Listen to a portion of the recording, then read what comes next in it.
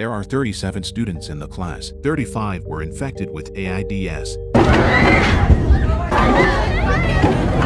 The beautiful teacher's name was Anna. He calmly looked down at the happy students and said, I'm going to say one important thing. I'm a single mother. I'm married to Chet, a famous writer. Before we got married, I found out I was pregnant. He was also diagnosed with AIDS. We thought about it very carefully. We decided to have the baby, but not to get married, because even if the child wasn't infected, if the father's condition is revealed, it would have a huge impact on the child's development. As my daughter, Sarah, grew up every day, I gave her all my love. A month ago. After a meeting, I realized that Sarah had disappeared. When I found him, he was dead in the school pool. The police ruled it a slip and fall drowning. It wasn't until I found this bag outside the pool fence. I realized that Sarah's death wasn't an accident. She was killed by a student in her class. Once at the mall, Sarah was crying and wanting to buy this bag. A student in her class saw her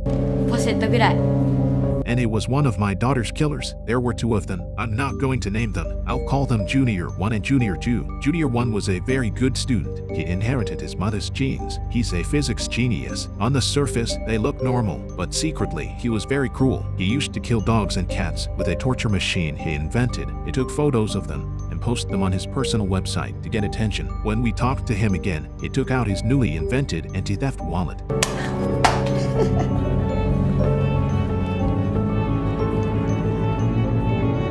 物でも殺すつもり。そんなことしか言えない。Then the teenager took the anti-theft wallet. He asked me to sign an application form for a technology competition because I didn't understand the principle. I thought he was dangerous. I refused to sign it. Then I got the headmaster to sign it. As a result, the anti-theft wallet won a prize from the headmaster. Junior 1 was expecting. This award will make him a headline in the media. His mother would know about it. But what was reported in the newspaper and news that day? Instead, it was a story about a delinquent girl who poisoned a family of four. The boy was already angry at being overshadowed by the incident. Since he couldn't be famous for his good deeds, I'd rather kill someone to get attention because I refused to sign the application. He chose my daughter Sarah as his target. Before he could carry out his plan, he found Junior 2 because he was scared and timid. He was always skipping school to play video games for violating school rules. I punished him with half a month's labor service at school. That's why he hated me so much. We found Amy by the pool. They lied to him that this was the bag his mom bought for him.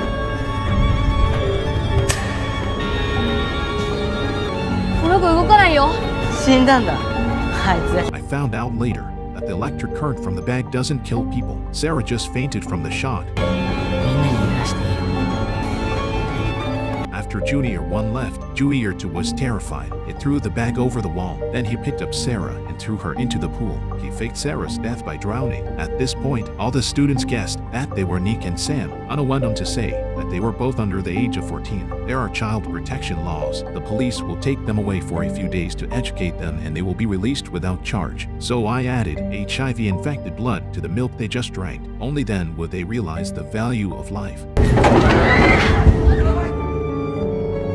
They were too scared to speak. On the stage, Miss Anna's back was wiping away the word life, as if to tell everyone, this is just the beginning. Then a new teacher came to the classroom. His name was Jack. Whenever Jack took the roll call, Jack noticed that a student named Sam was often absent from class. In order to help Sam to get rid of his illness, he encouraged the students to write notes of blessings. He and the class president took the notes every month to visit Sam every week, so the two of them went to Sam's house. Sam's mother was always berating him, Mr. Anna. Sam's mother blamed Anna for Sam's low self-esteem. When the visit was over, they said goodbye and left. The next morning, Sam's mother knocked on the door.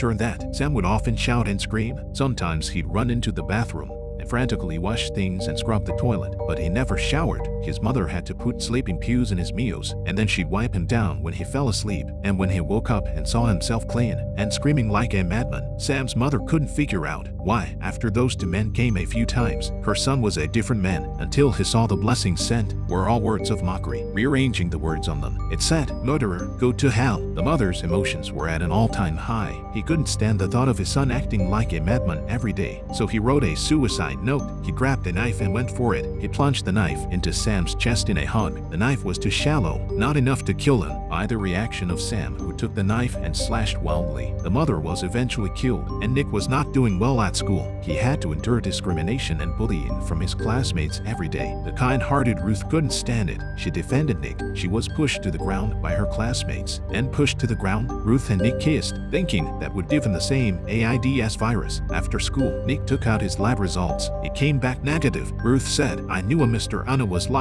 so they became good friends. They often played and talked together. Ruth also slowly learned. It turns out, Nick's mother was a professor of electrical engineering. Then she married an ordinary man. She gave birth to Nick not long after that. The mother looked at her son with great expectation. She wanted her son to follow in her footsteps. As Nick grew up, he looked at his son, who couldn't be taught. He slowly lost patience. With such excellent genes, how could he give birth to such a stupid son?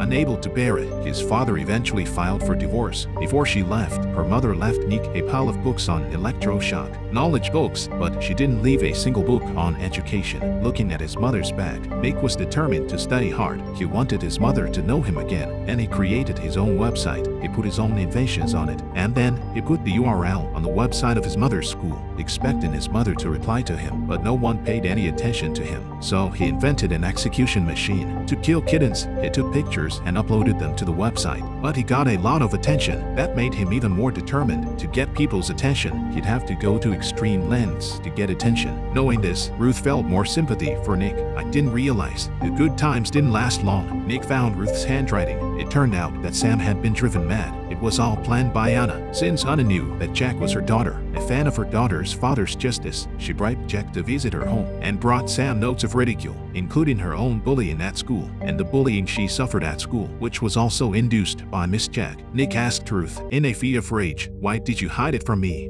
And in the middle of their argument, Ruth said something about Nick having an Oedipal complex. Nick was enraged.